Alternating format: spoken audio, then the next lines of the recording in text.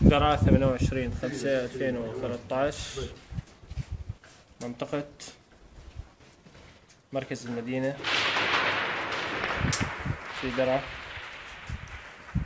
الجيش الحر يقوم بمحاصرة مراكز المدينة والمراكز الأمنية المتمركز فيها قوات جيش النظام في مدينة درعا هذا هو حال مركز المدينة.